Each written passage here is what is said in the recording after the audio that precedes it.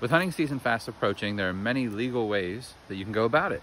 And I'm talking about deer in my state of Pennsylvania. So what do you prefer?